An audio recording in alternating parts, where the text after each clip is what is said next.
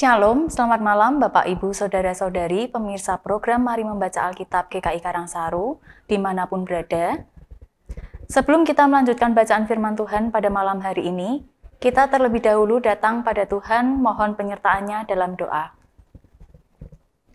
Tuhan Yesus yang baik, terima kasih atas berkat-Mu kepada kami sepanjang hari ini.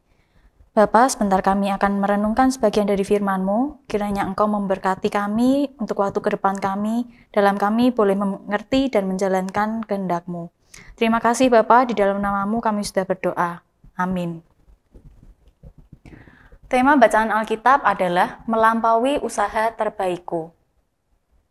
Diambil dari 2 Tesalonika pasal 1 sampai pasal 2 ayat yang ke-17 yang berbunyi demikian. Dari Paulus, Silvanus dan Timotius kepada jemaat orang-orang Tesalonika di dalam Allah Bapa kita dan di dalam Tuhan Yesus Kristus. Kasih karunia dan damai sejahtera dari Allah Bapa kita dan dari Tuhan Yesus Kristus menyertai kamu.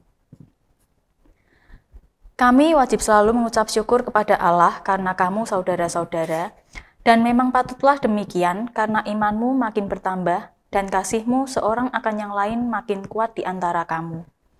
Sehingga dalam jemaat-jemaat Allah, kami sendiri bermegah tentang kamu, karena ketabahanmu dan imanmu dalam segala penganiayaan dan penindasan yang kamu derita.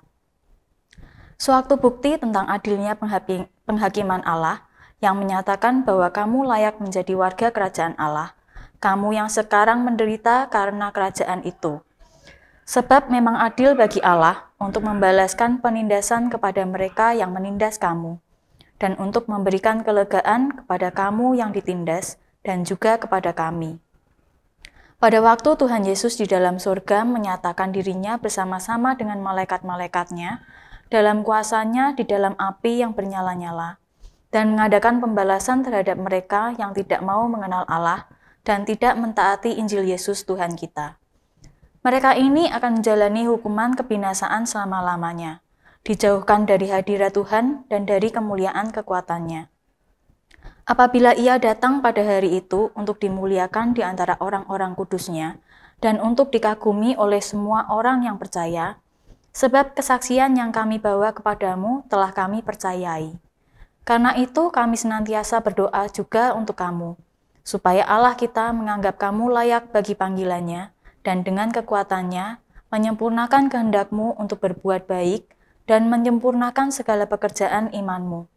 Sehingga nama Yesus Tuhan kita dimuliakan di dalam kamu dan kamu di dalam dia, menurut kasih karunia Allah kita dan Tuhan Yesus Kristus. Tentang kedatangan Tuhan kita, Yesus Kristus, dan terhimpunnya kita dengan dia, kami minta kepadamu, saudara-saudara, supaya kamu jangan lekas bingung dan gelisah, baik oleh ilham roh maupun oleh penderitaan atau surat yang dikatakan dari kami, seolah-olah hari Tuhan telah tiba. Janganlah kamu memberi dirimu disesatkan orang dengan cara yang bagaimanapun juga, sebab sebelum hari itu haruslah datang dahulu murtad dan haruslah dinyatakan dahulu manusia durhaka yang harus binasa. Yaitu lawan yang meninggikan diri di atas segala yang disebut atau yang disembah sebagai Allah Bahkan ia duduk di bait Allah dan mau menyatakan diri sebagai Allah. Tidakkah kamu ingat bahwa hal itu telah kerap kali kukatakan kepadamu ketika aku masih bersama-sama dengan kamu? Dan sekarang kamu tahu apa yang menahan dia, sehingga ia baru akan menyatakan diri pada waktu yang telah ditentukan baginya. Karena secara rahasia, kedurhakaan telah mulai bekerja, tetapi sekarang masih ada yang menahan, kalau yang menahannya itu telah disingkirkan, pada waktu itulah si pendurhaka baru akan menyatakan dirinya. Tetapi Tuhan Yesus akan membunuhnya dengan nafas mulutnya dan akan memusnahkannya kalau ia datang kembali. Kedatangan si pendurhaka itu adalah pekerjaan iblis dan akan disertai rupa-rupa perbuatan ajaib, tanda-tanda dan mujizat-mujizat palsu. Dengan rupa tipu daya jahat terhadap Orang-orang yang harus binasa karena mereka tidak menerima dan mengasihi kebenaran yang dapat menyelamatkan mereka. Dan itulah sebabnya Allah mendatangkan kesesatan atas mereka, yang menyebabkan mereka percaya akan dusta, supaya dihukum semua orang yang tidak percaya akan kebenaran dan suka kejahatan. Akan tetapi, kamu harus selalu mengucap syukur kepada Allah karena kamu, saudara-saudara, yang dikasihi Tuhan, sebab Allah dari mulanya telah memilih kamu untuk diselamatkan dalam roh yang menguduskan kamu dan dalam kebenaran yang kamu percayai. Untuk itulah ia telah memanggil kamu oleh Injil yang kami beritakan, sehingga kamu boleh memperoleh kemuliaan Yesus Kristus Tuhan kita. Sebab itu, berdirilah teguh dan berpeganglah pada ajaran-ajaran yang kamu terima dari kami, baik secara lisan maupun secara tertulis. Dan ia, Tuhan kita Yesus Kristus, dan Allah Bapa kita, yang dalam kasih karunia-Nya telah mengasihi kita dan yang telah menganugerahkan penghiburan abadi dan pengharapan baik kepada kita, kiranya menghibur dan menguatkan hatimu dalam pekerjaan dan perkataan yang baik. Demikianlah sabda Tuhan, syukur kepada Allah. Melampaui usaha terbaikku. Tiga orang Kristen berulang kali mengundang salah seorang sahabat mereka untuk datang ke gereja bersama mereka, namun sahabat itu menunda terus undangan mereka.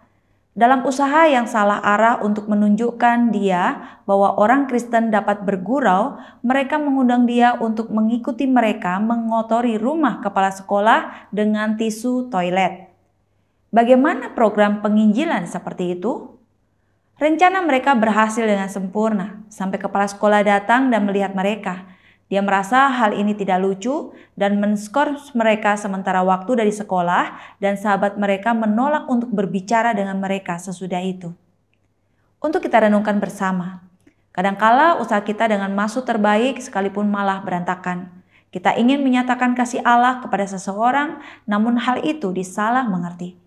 Kita mengaku dosa kita kepada seseorang hanya untuk ditolak. Kita mencoba untuk melakukan hal yang benar, namun gagal. Tetapi kita dapat memiliki keyakinan sebab kuasa Allah dapat bekerja melalui setiap kegagalan. Dia dapat mengambil saat-saat kita bersujud dan mendatangkan kemuliaan bagi dirinya melaluinya. Ceritakan kepada Tuhan tentang kegagalan yang Anda alami dan mohonlah dia untuk menyelesaikan situasi itu agar dia dipermuliakan. Amin. Mari kita berdoa. Bapa yang kami kasih di dalam Tuhan Yesus Kristus, terima kasih untuk kesanggupan Tuhan yang begitu besar dalam menjadikan harta ganti tragedi. Tolonglah kami untuk percaya akan karyamu dalam kehidupan kami. Terima kasih Tuhan. Sebentar kami akan menikmati waktu istirahat. Kiranya Tuhan juga tetap melingkupi kami dengan kasih sayangmu dan kami boleh hidup selalu dalam perkenanan Tuhan. Ampuni segala dosa dan kesalahan kami. Di dalam nama Tuhan Yesus kami sudah berdoa. Amin. Selamat malam, selamat beristirahat. Tuhan Yesus memberkati kita semua.